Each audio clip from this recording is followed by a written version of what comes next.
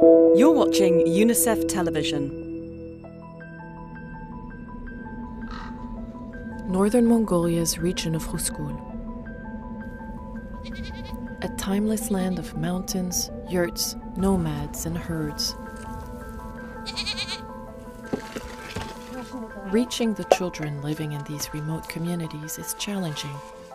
Families are isolated and poor, and children are often expected to work. Nine year old Murun is from the Tuva ethnic minority. Her family herds goats, reindeer, and cows. Transportation here is limited.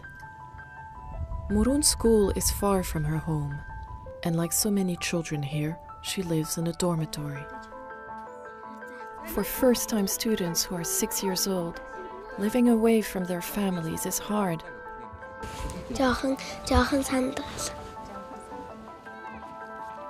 Those who live closer can walk to school, but night closes in quickly, and some children have to walk long distances in the dark. The extreme weather doesn't help. Temperatures can reach minus 45 degrees Celsius. Wood stoves in the overcrowded dorms provide warmth, Without running water, children fetch water from containers to wash themselves.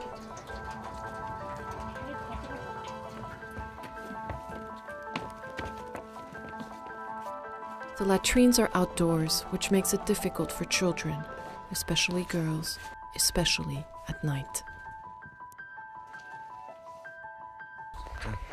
Тэр манай байр тэр энэ манай байрнаас юу жоохон хол айдаг болохоор юу that's why this year, UNICEF will start building new latrines for the children. UNICEF has been supporting the school with teachers' training, supplies, and special integration programs for children who dropped out of school and children with disabilities. With its partners, UNICEF is also providing guidance and training to make this school a child friendly school that provides quality education and promotes child participation, protection, and inclusiveness. Children like Murun are motivated to learn.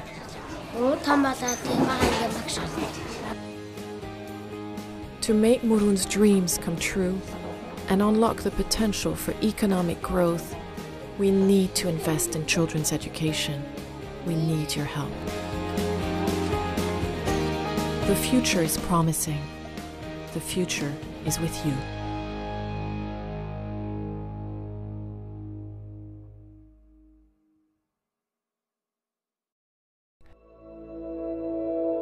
You've been watching UNICEF Television.